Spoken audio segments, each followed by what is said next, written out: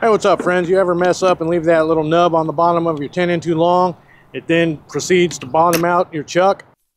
All right, well, rather than going over to the bandsaw and pulling out sleds and jigs and all that stuff, I found I just used my little uh, oscillating multi-tool that I got from Harbor Freight, and it makes real quick work of it. It's got a little wood cutting blade on there, and it gets rid of it easy peasy. All right, friends, I hope this helped you out, and I'll see y'all on the next one.